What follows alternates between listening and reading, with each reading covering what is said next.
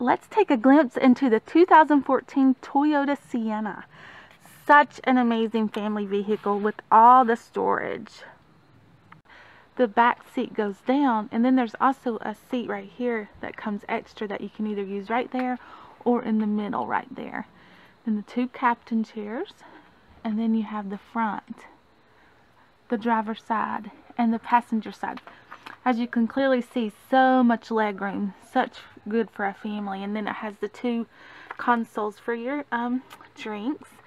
And then it does come with touch screen DVD players, dual. Um, you can watch separate DVDs and it comes with wireless headset, which is was so awesome on our road trip.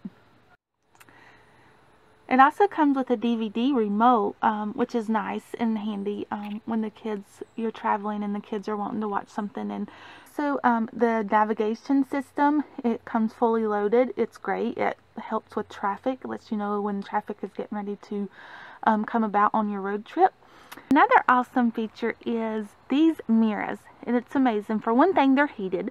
So in the winter, you don't have to worry about getting the ice or anything off while you're driving. They automatically um, melt the ice. And also, if someone's coming up in your blind spot or someone's coming up near you, it will have little lights um, coming there at the end. So that's that's a really cool feature. As we were driving, it was just so nice to say, oh, can't cross over. it's beeping.